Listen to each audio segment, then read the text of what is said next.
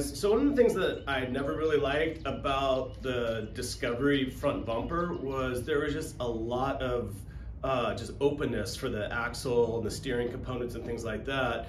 Um, when I built my, my Jeep Wrangler bumper, I actually integrated a steel skid plate into the design and this one just didn't have it. Um, if we look, look at the Defender, it's got this nice skid plate that comes factory, or at least mine came factory, um, that does offer, you know, quite a bit of protection. But then when we swing over here, that's just a lot of exposure to a lot of things. So, so what I did was yesterday, I created this template uh, out of cardboard and it's gonna be kind of a hybrid solution as you'll see. So these steel wings here are going to mount to the actual bumper itself. And then you'll see there's gonna be a little bit that's unsupported down here. But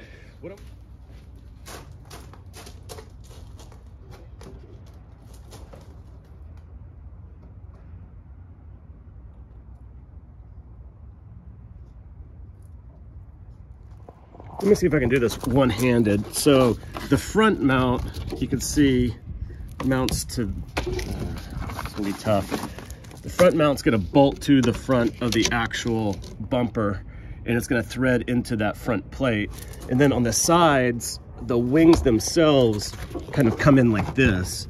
And you can see that they stick back a little bit further and that's to give it a little bit more protection. And I hope that that's gonna work out okay. So let's get to uh, cutting that steel and then hopefully I can go to my friend's house and do the actual welding today.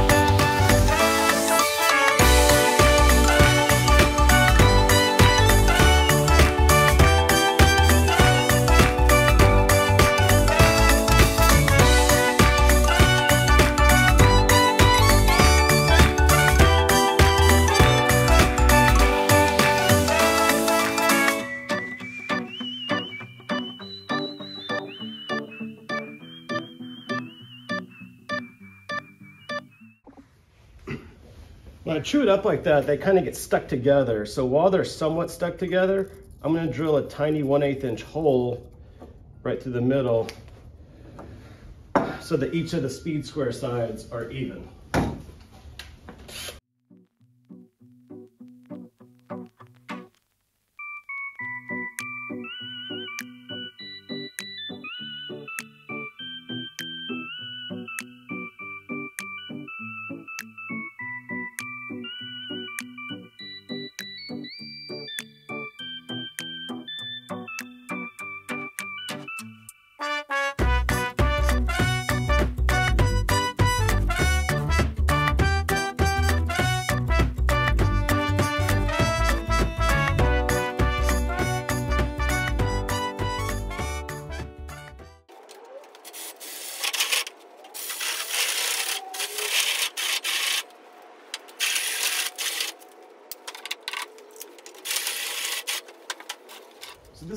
Base of the, um, the actual plate. And I'm doing this now while the drill's warming up and getting charged. So I'm gonna find the center line, uh, cross hatches for each direction. and then um, start marking off my cut lines and then also where I'm going to put the speed holes for breathability.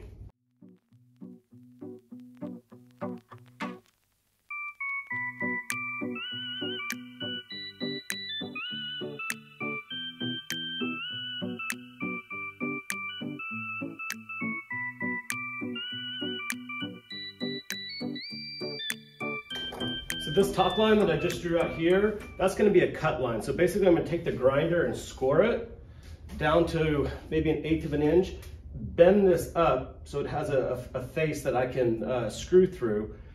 And um, I'm gonna either have to, I'm gonna have to backfill it with some welds once I get the TIG welder set up. But for temporarily, even with the crease in it right here, it should be okay. And then on the template, I put in a uh, another crease to kind of even out at the two inch mark. So I'm gonna draw that up just in case I do wanna put that in later. Um, I'll have a, a, good a good place to do that. I've already done the measurements. So.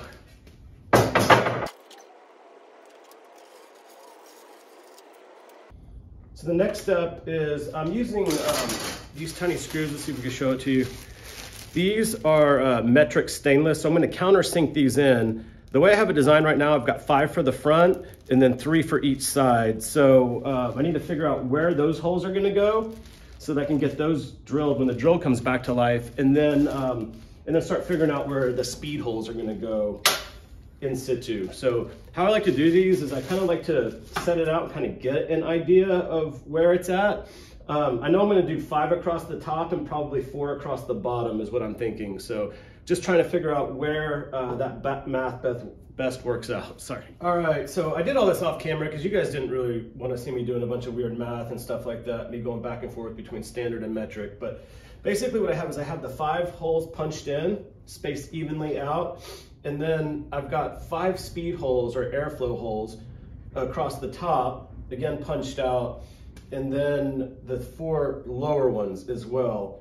So I guess the next step while we're waiting on the drill to get um, charged is to draw a square line, like a V, across this because this is actually going to be full. What we're looking at right now is we're looking at the inside. So this is going to get folded up uh, in this manner. And that's where I'm going to be at a sort of a stopping point um, until I can get some of the some of the drills. I may I may try to use what I can on that battery to get these drilled while it's flat because that would be much easier. And then and then I'll probably score. Um, these I'll wait till the the the drill is fully charged and um, probably go over to my buddy's house and get that welded up. Of course, hopefully these, I can get these speed squares going too. So that's where we're at.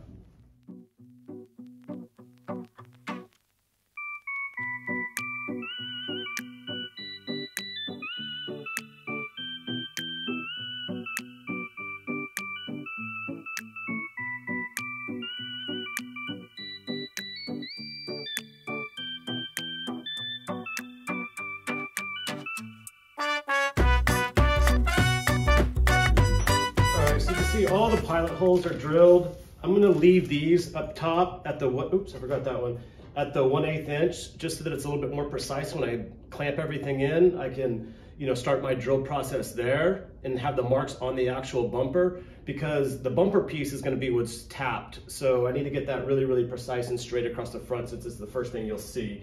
The rest of them, I just kind of countersunk them so that the, um, the hole saw, which I'm not using this one, I'm using the bigger one, but um, can go in here and just kind of center up and everything. So let's see how this goes. So basically I tried a brief experiment off camera. Um, what I'm trying to do is just machine a groove down this edge right here. I'm trying to do it with this really dull circular saw blade, but we'll, we'll see what happens. I just need to get it enough that I can bend it, I think.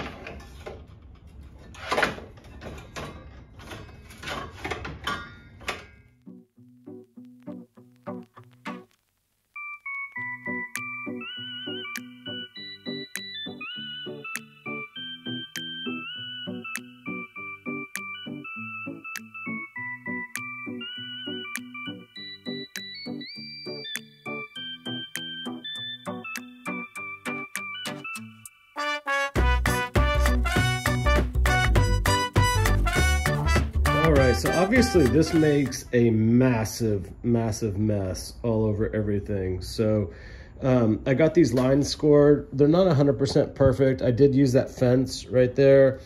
Um, this one is a little deeper than I hoped for, quite a bit deeper. That's the back piece on the bottom. And this piece here, well, let's see, it's not much better, but um, let's get these big holes, let's get this place cleaned up first. And then let's get these big holes drilled in and then we'll start bending everything up.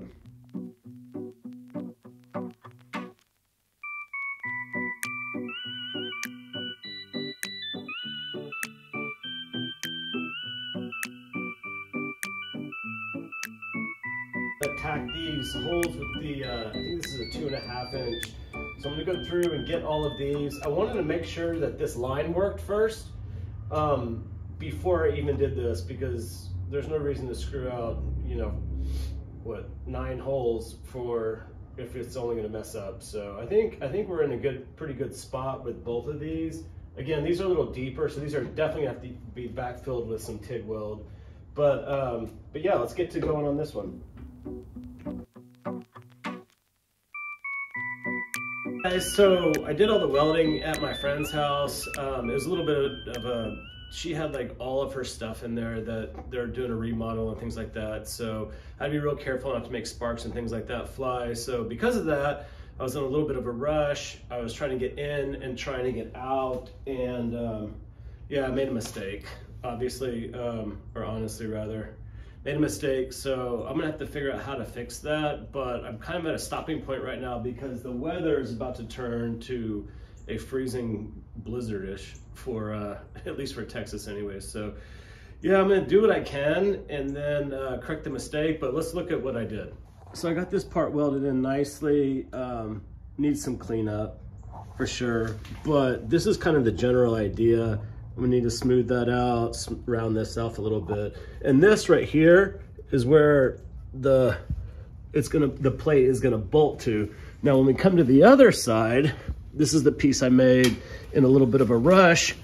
Obviously, it's flipped to the wrong side. So I'm debating whether I wanna cut this off and try to reuse the triangle piece or um, what exactly I want to do with it or not. It's probably the same amount of work either way with less expense, but uh, I'm going to get started on the plate now.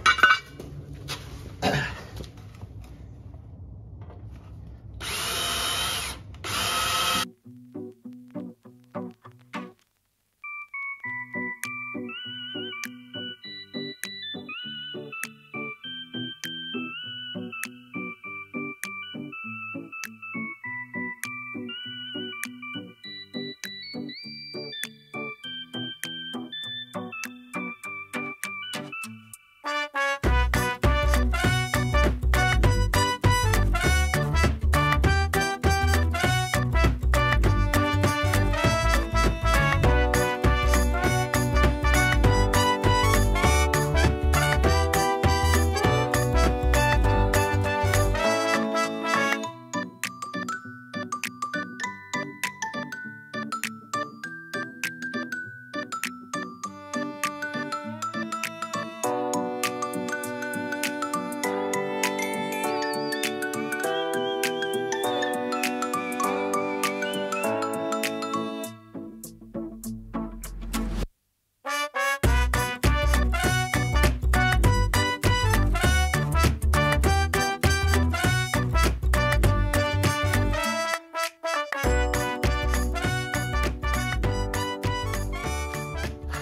pretty much it, guys. Um, I drilled tons of holes, broke tons of drill bits going through that front bumper, uh, which caused a lot of delay because I was running around to hardware stores. Um, but yeah, that's it. I mean, I made that one mistake that I mentioned earlier, and I'll take you through a little bit of a close-up and show you what I did. It's not 100% complete yet, but I think I'm gonna call this the, uh, the end of the video after I uh, show you around. So here's the, the front of it. I use, see if we can get this. I use countersunk six millimeter bolts, uh, five of them across the front. I think it looks pretty good. I may go back in and put an, another three or four rather, just to well, I have them. It's just the, uh, I'm kind of tired of drilling. I mean, obviously lots of holes through here. Here's how it connects on the inside. I welded this to the actual bumper itself, not the frame. So uh, this is 3 16th. Put a speed hole in it just because. Um, yeah, so I like this. I think that the, I was gonna use quarter inch for this, but I think 3 16th is better because I want this to bend if I slam a rock or something real hard. This piece right here, that overhang, I have to bend up, but I wanna do the other side before I put it underneath the jack and bend it. So um, yeah, so I think that that looks pretty good. On this side, however, I messed up and welded the, um, the underside, the part that this bolts to. I messed up and uh, welded that on the wrong side, so I got to cut that off and redo it. But um, there's no reason to delay the video for that. Um, this piece right here, I had to kind of notch out on the bottom to clear the uh, that shackle mount. But otherwise, all in all, I'm pretty happy with it. Let me know in the comments what you guys think, and we'll see you next time.